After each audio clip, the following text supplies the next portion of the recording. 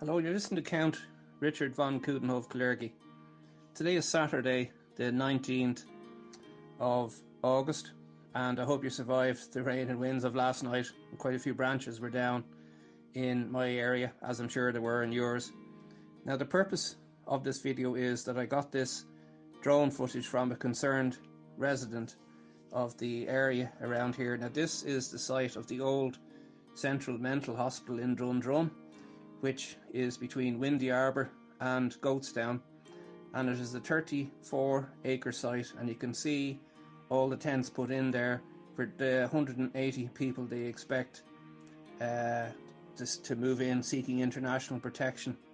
Now you can see the site is in a residential area and is just off the main Dundrum Road. And those that may be familiar with the pub Ryan's, which is on the corner there, it's across the road from that and just up the road from the Dundrum Business Park, which you can see in the distance there, which is the, the white building. But uh, this site uh, was built in 1850 as a result of the recommendations of a parliamentary committee set up by the then Lord Chancellor of Ireland, Sir Edward Sugden, with the 34 acre site chosen, and it was Europe's first secure hospital providing care and treatment separating people who had illness from those who were criminals. And you can see the building there is a H in shape, and the toilet, eating, and shower facilities will be in the old premises. Now, you notice on the grounds there are also uh, a cricket pitch and tennis court, which is, I think, where the the uh, the direct provision uh, people will be actually staying. But if you look at the location nearby, it's nearby Rosemount uh, Football Club, and it's beside Mulvey Park and on Friarsland Road on the other side. Now, there's also local schools and GAA clubs nearby. And if you look what happened earlier on this week in Finglas, when you had two young girls who were chased by some men of unknown origin, which were arrested and uh, thankfully had the sense to actually run into the local GAA club and seek help. Now, earlier on this year, this area was designated uh, for redevelopment for 852 social and affordable homes.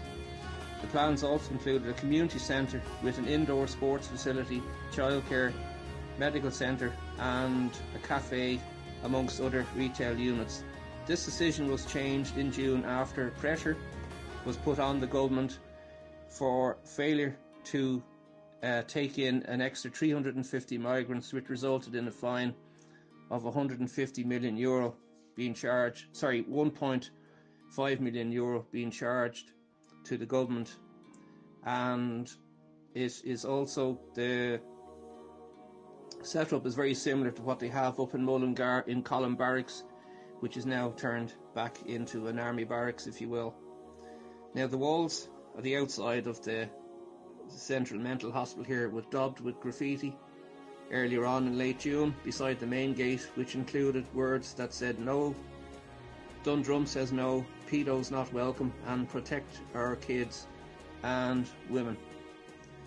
So you can see it's quite an substantial, substantial site there, and uh, so far in 20 2022, a total spend on those seeking international protection was 367 million.